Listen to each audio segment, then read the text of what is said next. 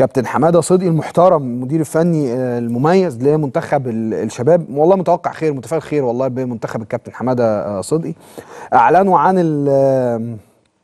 قائمة اللاعبين اللي هينضموا إن شاء الله بإذن الله للمعسكر اللي جاي آه، اللي هيبتدي يوم الثلاث 20 فبراير هيستمر لمدة ثلاث أيام بمركز المنتخبات الوطنية بمدينة 6 أكتوبر طبعا في إطار آه، سلسلة الاستعدادات. خليني أقول لكم أسماء اللعيبة مش هبخل آه، بالوقت خالص إن أنا أقول لكم أسماء اللعيبة دي متوقعين منهم خيرة يعني.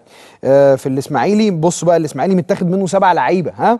في الإسماعيلي عشان تعرفوا يعني المنتخب منتخب الشباب فيه سبع لعيبة متاخدين من النادي الإسماعيلي. ال- يعني يعتبر العدد الأكبر من الأندية.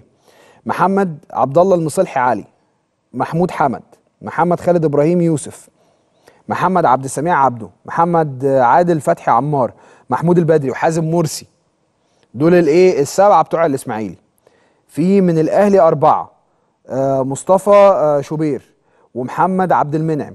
ومحمد فخري وعربي بدر مختار نروح للزمالك أربعة أحمد عيد وحسين فيصل رشدي آه، أشرف وحسام أشرف.